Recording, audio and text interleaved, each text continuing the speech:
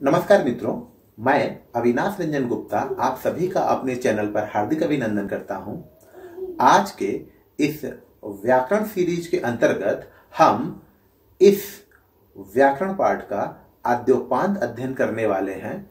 आप इस व्याकरण पाठ को बड़े अच्छे से समझने की कोशिश कीजिए, क्योंकि वीडियो के अंत में इससे जुड़े हुए कुछ वर्कशीट भी आपको दिए जाएँगे, जो आपको व्याकरण को समझने में और भी सहायता प्रदान करेंगे।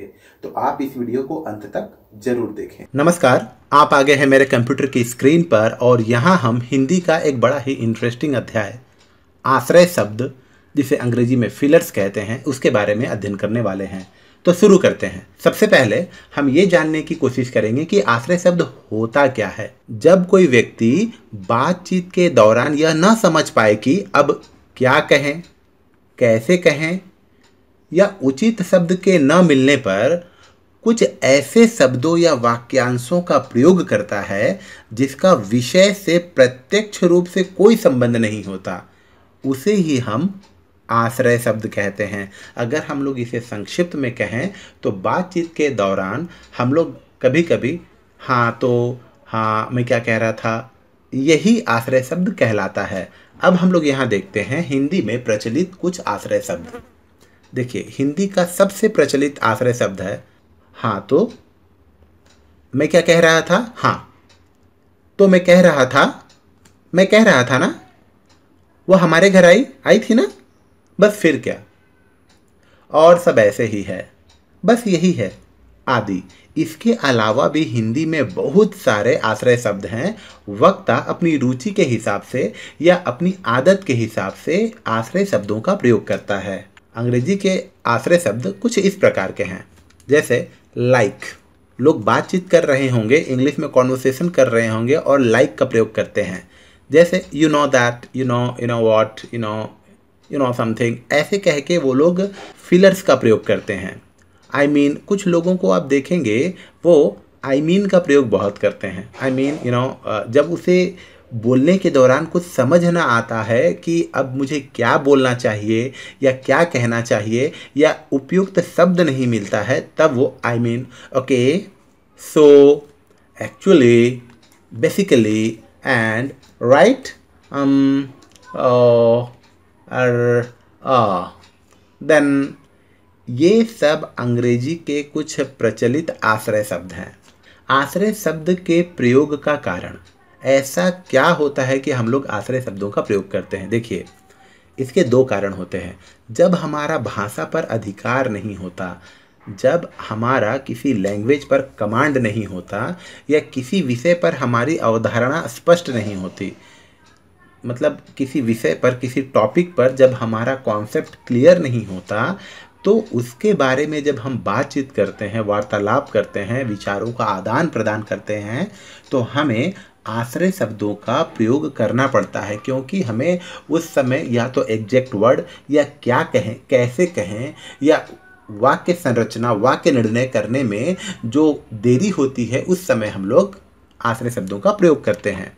आश्रय शब्द के प्रयोग का उद्देश्य, देखिए आश्रय शब्द के प्रयोग का उद्देश्य होता है कि हम लोग जब वार्तालाप कर रहे हैं या बातचीत कर रहे हैं और इन बिटवीन अगर हमें समझ में या नहीं आ रहा है कि हमें क्या कहना है, क्या नहीं कहना है, जब हम लोगों को उचित शब्द नहीं मिल रहा है, हम लोग वाक्य निर्णय नहीं कर पा रहे हैं तो ऐसे में आश्रय शब्दों के प्रयोग से हमारा जो वार्तालाप है, वो जारी रहता है। उसमें विराम नहीं आता है। यही उद्देश्य है आश्रय शब्दों के प्रयोग का। आश्रय शब्दों के प्रयोग करता अर्थात आश्रय शब्दों का प्रयोग कौन करता है? पहला, बालक या किशोर, अर्थात बच्चे या जो टीनेजर्स होते हैं, मुख्यतः बातचीत के दौरान जब उनका मस्तिष्क सही शब्द या सही वाक्य रचना के निर्णय में तल्लीन रहता है या वो सही शब्द या सही वाक्य को ढूँढने में स्कैनिंग करने में समय लगा रहे होते हैं तो ऐसे अवसरों पर वे आश्रय शब्दों का प्रयोग करते हैं।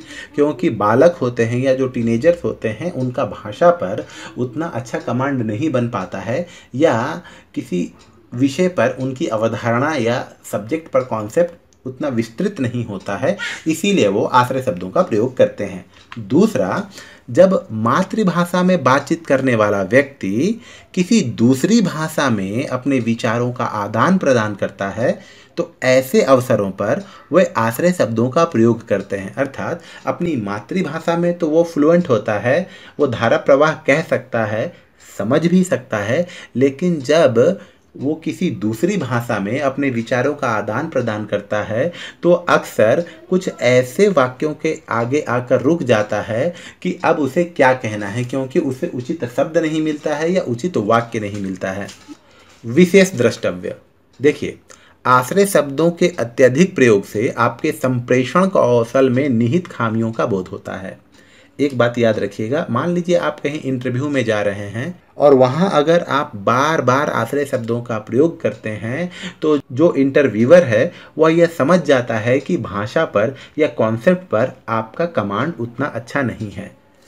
वार्तालाप में आश्रय शब्दों के कम से कम प्रयोग के लिए चारों कौशलों, अर्थात लैंग्वेज के जो चार स्किल्स हैं उन पर आपकी कमांड अच्छी होनी चाहिए। पहला है श्रवण, जिसे कहते हैं लिसनिंग। दूसरा है वाचन, जिसे कहते हैं स्पीकिंग। तीसरा है पठन, जिसे कहते हैं रीडिंग।